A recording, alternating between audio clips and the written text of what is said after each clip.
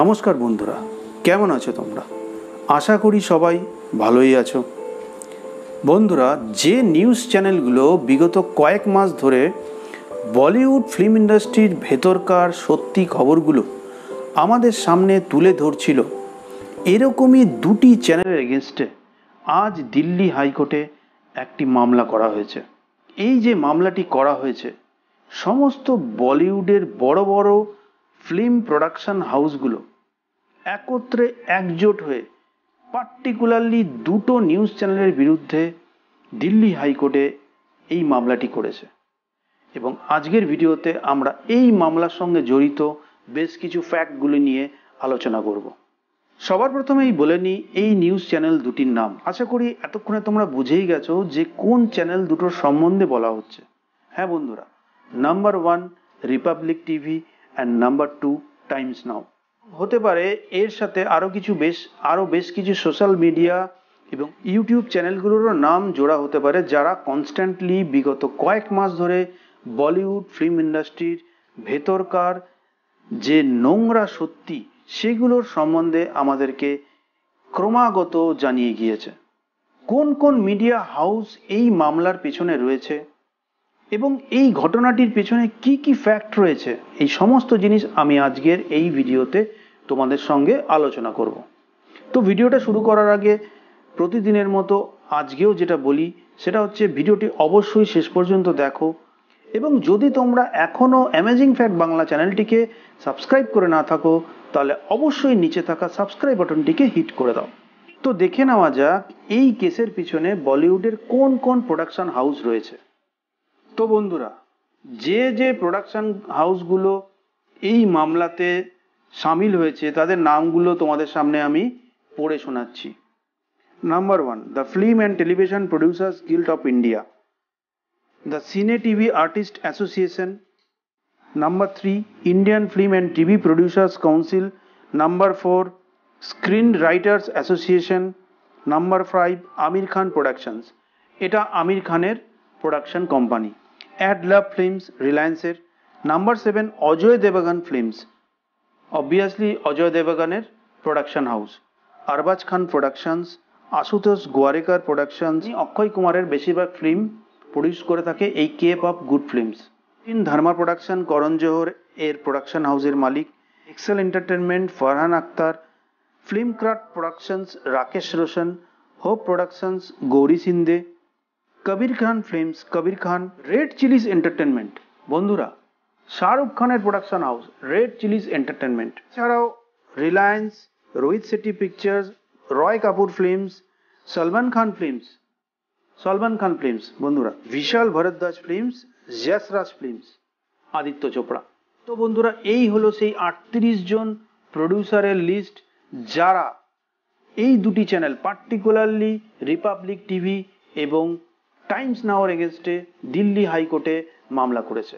এই চ্যানেলগুলোর পিছনে বলিউড ফিল্ম ইন্ডাস্ট্রির যে মূল অভিযোগ, সেটা হলো যে এই চ্যানেলগুলো বিগত বেশ কিছু মাস ধরে বলিউড ফিল্ম ইন্ডাস্ট্রির এগেনস্টে এক নির্দিষ্ট ক্যাম্পেইন চালিয়েছে এবং তাদের এগেনস্টে ক্রমাগত অভিযোগ করে গেছে এবং তাদের ভাবমূর্তি জনতার সমক্ষে ক্ষুণ্ণ করেছে। এবং বলিউড ফিল্ম ইন্ডাস্ট্রির আরও অভিযোগ হলো এই ক্রমাগত নেগেটিভ ক্যাম্পেনের জন্য ফিল্ম ইন্ডাস্ট্রির ইমেজ কিন্তু প্রচুর ইমেজের কিন্তু প্রচুর ক্ষতি হয়েছে।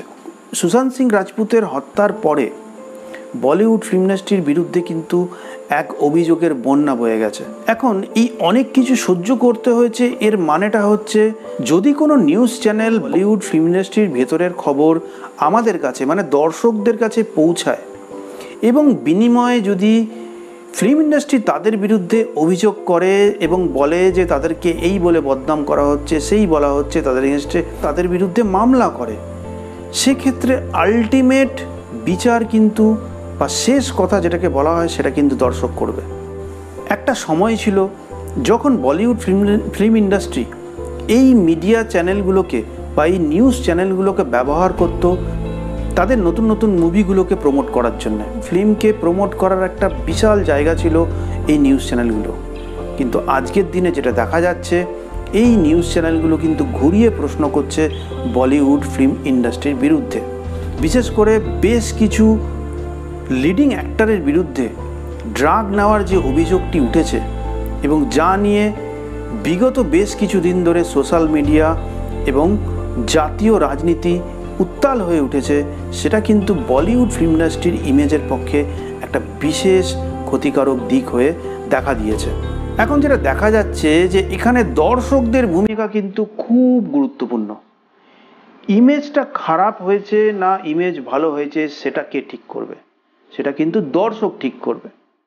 আমরা যারা দর্শক, আমরা আমাদের পকেটের টাকা খসিয়ে সিনেমা হলে গিয়ে একটা সিনেমা দেখি প্রতিষ্ঠিত অ্যাক্টর অ্যাক্ট্রেস তারা কিন্তু তাদের রেভিনিউটা পাচ্ছে আমাদের কাছ থেকে, আমাদের সাধারণ দর্শকদের কাছ থেকে। যার জন্য তারা আজকে তাদের এই লাইফস্টাইলটা লিড করতে পারছে। তো বন্ধুরা, এখন প্রশ্ন হলো, যখন তাদের বিরুদ্ধে ঘুরিয়ে আজ এই নিউজ চ্যানেলগুলো প্রশ্ন করছে এবং জানতে চাইছে, এই ড্রাগ মাফিয়া এই বলিউডের ড্রাগ মাফিয়া কানেকশনের ব্যাপারে, জানতে চাইছে কোথা থেকে এই টাকাগুলো আসছে, একটা মুভি থেকে আমরা কি আশা করতে পারি? যে তারকাদেরকে দেখে আমরা অনুপ্রাণিত হই, যা যে মুভিগুলোকে দেখে আমরা আমাদের নিজেদের জীবনের লক্ষ্য স্থির করি, সেখানে যদি আজকে প্রশ্ন করা হয়, তাদের নিজেদের ক্রেডিবিলিটি সম্বন্ধে যদি আজকে মিডিয়া হাউসগুলো প্রশ্ন করে চ্যানেলগুলো যদি প্রশ্ন করে, তারা যদি উল্টে এই নিউজ চ্যানেল বা এই নিউজ মিডিয়াগুলোর বিরুদ্ধে মামলা করে, সেক্ষেত্রে আলটিমেট ডিসিশন কিন্তু আমাদেরকে মানে আমাদের দর্শকদেরকে নিতে হবে। সুশান্ত সিং রাজপুতের মৃত্যুর পর থেকে বিগত তিন মাস ধরে এমন কিছু ঘটেছে যেখানে আমাদেরকে বা সাধারণ দর্শকদেরকেই কিন্তু ঠিক করতে হবে যে আমরা কি চাই।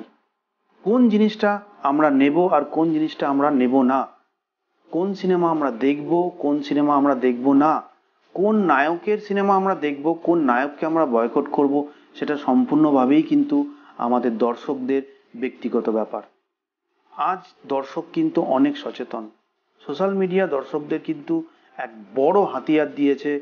এটা চুজ করার যে আমরা কাকে সিলেক্ট করব আর কাকে সিলেক্ট করব না। এই যে লড়াইটা শুরু হয়েছে film industry versus news media চ্যানেলগুলো এই লড়াইয়ে কিন্তু আলটিমেট ডিসিশন দর্শকের। আজকে এই মামলার পিছনে যেটা মূল উদ্দেশ্য, আমার যেটা মনে হলো, এই ফিল্ম প্রোডাকশন হাউস বা বলিউডের লিডিং অ্যাক্টর এবং অ্যাক্ট্রেসরা একটা জিনিস বুঝতে পেরেছে যে ক্রমাগত যে ক্যাম্পেনটা নিউজ চ্যানেলগুলো চালিয়ে এসেছে বিগত তিন মাস ধরে, তার কিন্তু একটা বিশাল নেগেটিভ এফেক্ট তাদের রুটি রুজি বা কেরিয়ারে পড়েছে। এরমটা যদি চলতে থাকে, তাহলে এদের কিন্তু রুটি রুজিতে খুব শিগগিরই টান পড়তে চলেছে এবং এটাই এদেরকে বাধ্য করেছে একে অপরের সঙ্গে ইউনাইট হতে। মিডিয়া হাউসগুলির বিরুদ্ধে মামলা করতে। এত কিছুর পরে আমার একটা কথাই মনে পড়ছে। সুশান্ত সিং রাজপুতের মৃত্যুর পরে সোশ্যাল মিডিয়ায় একটা ভিডিও কিন্তু খুব ভাইরাল হয়েছিল। যেখানে সুশান্ত সিং রাজপুত একটাই কথা বলেছিল যে বলিউড ফিল্ম ইন্ডাস্ট্রি যদি নতুন ট্যালেন্টদেরকে সুযোগ করে না দেয়, তাহলে কিন্তু একটা সময় আসবে যে এই বলিউড ফিল্ম ইন্ডাস্ট্রি কিন্তু ভেঙে টুকরো টুকরো হয়ে যাবে। এবং বন্ধুরা, এটা বলতে আমি বাধ্য হচ্ছি। ধীরে ধীরে পরিস্থিতি যেদিকে যাচ্ছে, সুশান্ত সিং রাজপুতের কিন্তু কথাটা খুব সত্যি হয়ে যাচ্ছে এবং বলিউডের ভেতরকার একের পর এক লুকোনো সত্যিগুলো কিন্তু আমাদের সামনে চলে আসছে। এবং এটা ঠিক যে এইভাবে মামলা করে চাপ দিয়ে কিন্তু নিউজ মিডিয়ার মুখ বন্ধ করা যাবে না। ভারতীয় সংবিধানের চতুর্থ স্তম্ভ হলো নিউজ বা মিডিয়া। তো এখন দেখার জল কত দূর গড়ায় এবং শেষ পর্যন্ত এই মামলার ফল কি হয়? সুশান্ত সিং রাজপুতের জাস্টিস কিন্তু এখনও পর্যন্ত অধরাই রয়ে গেছে। অনেক হয়তো হালও ছেড়ে দিয়েছেন এবং বলেই দিয়েছেন যে হ্যাঁ সুশান্ত আত্মহত্যাই করেছে। কিন্তু সুশান্ত সিং রাজপুতের জাস্টিসের লড়াই কিন্তু এখনও শেষ হয়নি। এবং যদি কেউ ভেবে থাকে যে হ্যাঁ সুশান্ত সিং রাজপুতের কেসটি ধামাচাপা পড়ে গেছে, সেটা নিয়ে আর হয়তো কিছু হতে চ মানে হবে না। সেটা কিন্তু ভুল। তোমাদের সাথে সাথে আমারও দৃঢ় বিশ্বাস সুশান্ত সিং রাজপুতের জাস্টিস একদিন না একদিন হবেই। আজকের এই ভিডিওটা এখানেই শেষ করলাম। আবার দেখা হচ্ছে একটা পরবর্তী ভিডিওতে। যাওয়ার আগে একটাই অনুরোধ, এই চ্যানেলে কিন্তু আমি নতুন নতুন আপডেট দিতে থাকি, নতুন নতুন ফ্যাক্ট নতুন নতুন ঘটনা লেটেস্ট ঘটনার উপরেও ফ্যাক্ট চেক অ্যানালাইসিস সব কিছু আমি আমার এই চ্যানেলে তোমাদের জন্য নিয়ে আসি। তো এখনও যদি তোমরা এই চ্যানেলটিকে সাবস্ক্রাইব করে না থাকো, তাহলে অবশ্যই চ্যানেলটিকে সাবস্ক্রাইব করে দাও এবং ভিডিওটি যদি ভালো লেগে থাকে, তাহলে অবশ্যই ভিডিওটাকে লাইক এবং শেয়ার করতে ভুলো না। আজ এই পর্যন্তই। আবার দেখা হচ্ছে আরও একটি নতুন ভিডিওতে। ততক্ষণের জন্য ধন্যবাদ।